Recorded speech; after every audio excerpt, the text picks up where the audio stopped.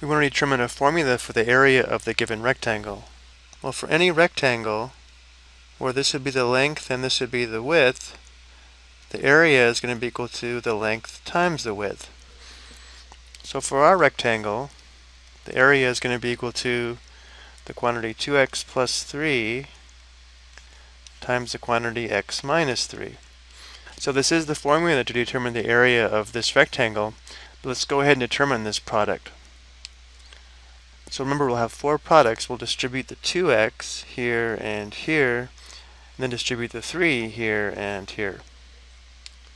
So 2x times x, that would be 2x squared.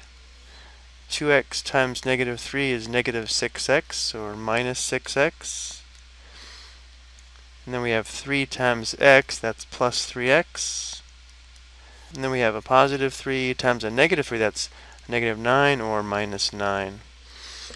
Then we do have two like terms here. So the area formula is going to be equal to 2x squared.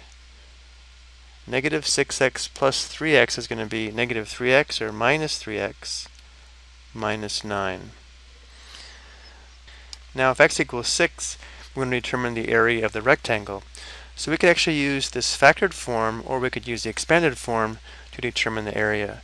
If we use the expanded form, the area would be equal to 2 times 6 squared minus 3 times 6 minus 9. Well, this would be 36. 2 times 36 is 72 minus 18 minus 9. That would be 45 square units.